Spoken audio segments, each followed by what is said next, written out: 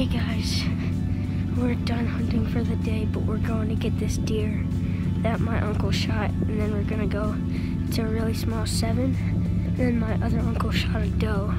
So let's just tell you what happened. Okay, so first thing, remember I told you I heard that deer grunting? It's like an hour later, my uncle shot, and the, so there are three, or there were only two, one deer that he could see, but after he shot, he dropped the deer right where it was. The thing didn't even move. And um, after he shot, um, he just he saw two other deer run to my other uncle, and he he shot he shot a doe because he already shot two bucks. It was a doe and a spike, and um, he shot that one right in the butt, and I don't know, and like he he ran.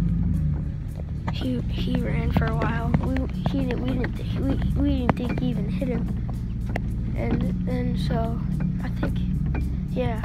So after that, my uncle, because he was he finished gutting his deer, he went to look for that deer and try to spook some up, so we could hit some. And then he would he found some hair of the deer, and he found the deer.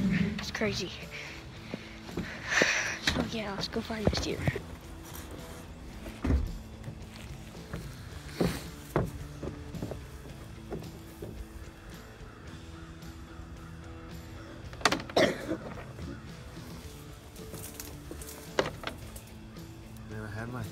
357 Magnum loaded up up there. Yeah. I shot the deer with my 30 aught six, but You had two guns in the car? Or in the snake? Oh, you had a pistol. yeah. Oh. And uh, I For a sitting here. coyote? What? For a coyote? I was gonna shoot a fox or a doe, but looking at that buck, I was like, man, I should have just. I thought it was a little bit bigger Oh, when I yeah. shot it, but I was like, man, look, if I'd have known it was like that, I, you know, I'd have pulled out my pistol and tried it. It was only like 20 yards. Well, I think because I'm in the stainless or coughs a lot, I think he just pushed that deer. Because they, you, we could hear him grunting. Where, where are you talking? On the fence line or on our property? oh, on our property, like just below the grassy knoll. Yeah, It's where on the other side of that. like they were at. I know, but I kept hearing you guys in my ear, and then like I hear, I'm Yeah, the, when they came up towards me, I heard the doe. Remember, I was talking on the radio and telling you guys the story when Dwayne shot this deer. But I was in the middle of it. Well, I heard him on that side early this morning, running Okay. and grunt, and it was loud. I mean, I heard a thing grunt from like 200 yards, and I just saw a flash: one, two, three deer, Uh, right? okay. And then they were down here. That's when I said, "Hey, you guys might see them or whatever." Well, then it was like an hour. They were down in here scrolling around.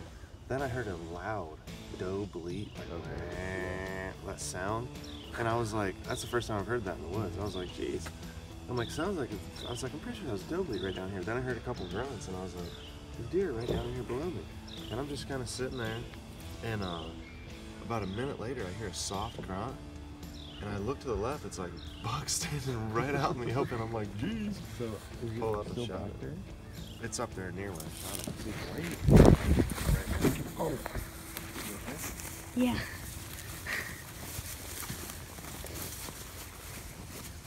Can you even see it? Well, I don't know what He didn't want me to drive it.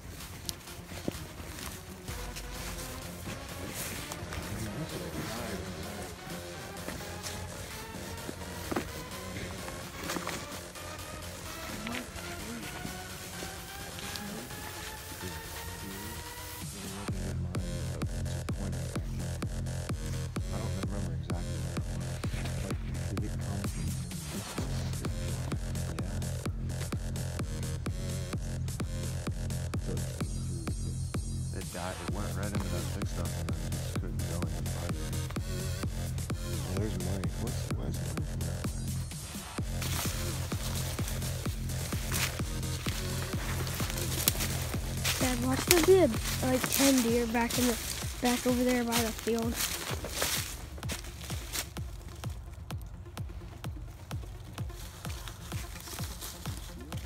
No.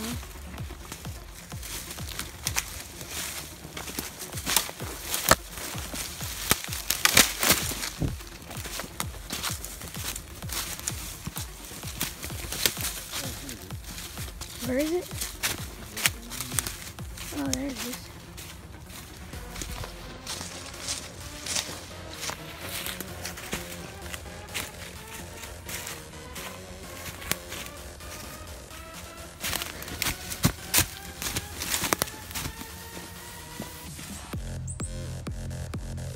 That's dead. There's the deer.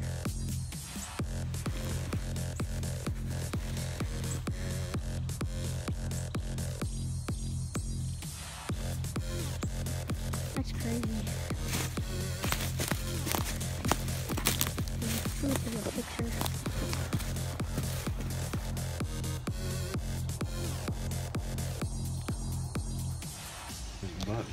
Your red deer are your original Virginia deer? Yeah. And the dark brown deer are the ones that were imported many Those years ago things- because Virginia